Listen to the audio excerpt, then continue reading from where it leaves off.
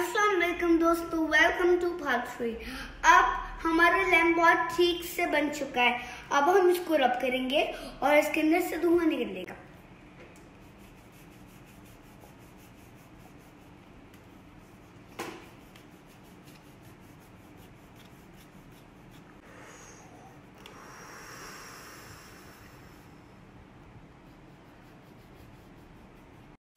देखा दोस्तों, हमने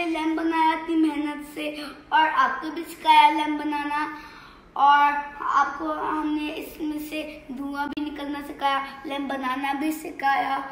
आप, मुझे उम्मीद है कि आपको मेरा प्रोजेक्ट पसंद आया। एक दिन हम नए प्रोजेक्ट के साथ मिलेंगे। अल्लाह हाफिज।